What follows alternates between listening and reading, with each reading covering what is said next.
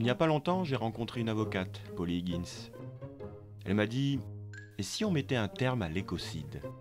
Et moi j'ai dit L'éco quoi? Tu as déjà entendu parler de la Cour pénale internationale? Elle m'a demandé. Celle qui poursuit les responsables de crimes contre la paix. C'est à La Haye, aux Pays-Bas. Et son boulot, c'est de juger les personnes accusées de crimes internationaux.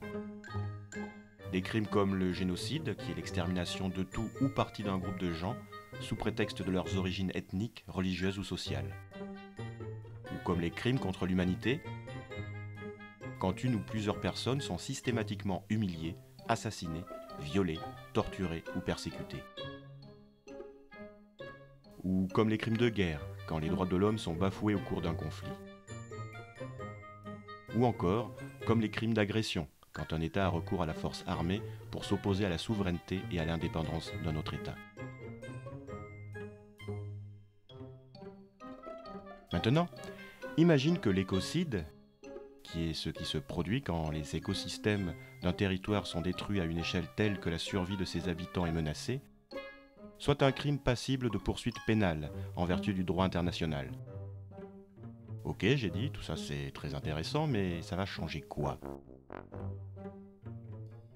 Imagine, si la loi obligeait les responsables politiques et économiques à faire passer le bien-être des populations avant le profit, ça résoudrait pas mal de nos problèmes de pollution, de destruction d'écosystèmes et de changement climatique.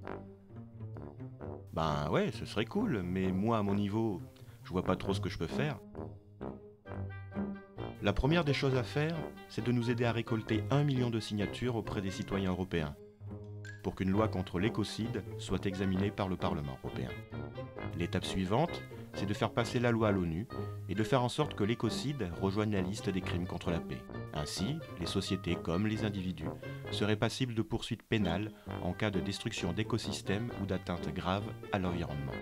Alors, parle-en à tes copains, partage cette vidéo, utilise les réseaux sociaux, ou si tu préfères, cours le crier du haut d'une montagne Arrêtez l'écocide Arrêtez l'écocide Mais, juste avant, s'il te plaît, prends quand même deux minutes pour aller voter sur ce site et demander à l'Europe de mettre un terme à l'écocide.